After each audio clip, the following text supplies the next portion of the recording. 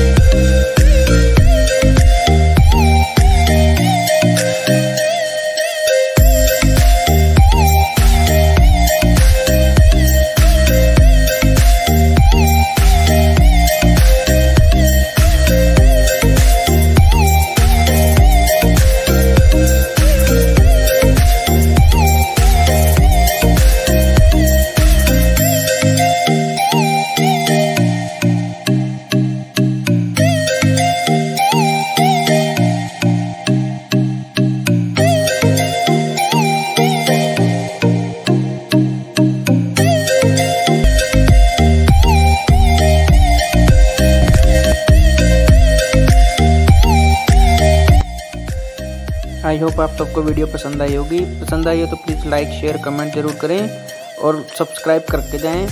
500 subscribe तो please जल्दी करवाओ यार। 500 सब्सक्राइब